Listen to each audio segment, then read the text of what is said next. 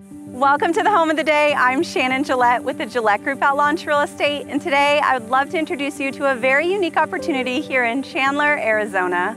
2121 West Maplewood Street is located across the street from the park and offers a desirable Chandler location close to the Loop 101, shopping, dining, major employers, and top schools. The home is sitting on a large 10,000 square foot lot, complete with a private pool, an RV gate, and inside you'll find over 3,600 square feet with five bedrooms and three bathrooms. Visit maplewoodstreet.com to learn more.